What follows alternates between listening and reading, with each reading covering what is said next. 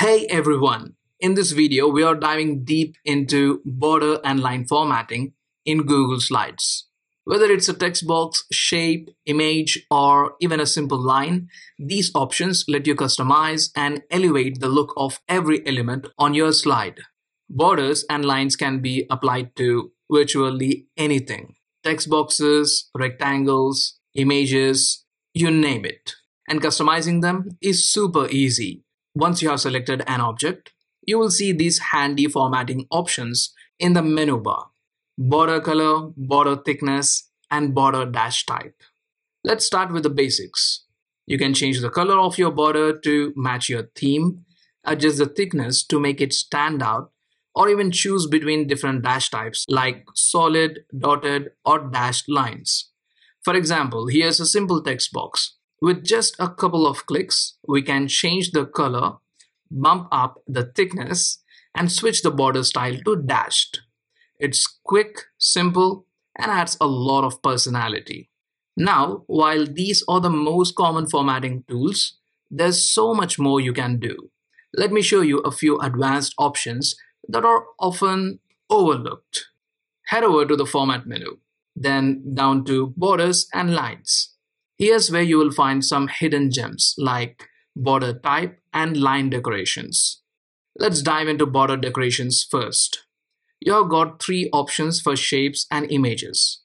Round join, miter join, and bevel join. And three options for lines. Butt cap, round cap, and square cap. Take a look at this shape. When I apply the round join, the corners become smooth and rounded perfect for creating a softer look. Now, switching to miter join gives us those sharp, crisp edges, ideal for more precise modern design. And with bevel join, you get this neat, flattened corners that adds a subtle but stylish twist. And when it comes to lines, the cap options change the way the ends of your lines look. A butt cap gives a flat, clean ending to the line, the round cap adds a smooth circular edge, great when you want your lines to blend seamlessly with the design. Lastly, the square cap adds a little extra length to the end of the line, giving it a more defined presence. Next up, let's explore some of the border types. Most people stick to single lines, but there are some fantastic alternatives that can elevate your design. Let's check them out. Here's a standard text box and I'm going to change the border type to double. Instantly, it has a more polished and professional look. Now, watch what happens when I apply triple border. This adds even more depth, perfect for drawing attention to important sections.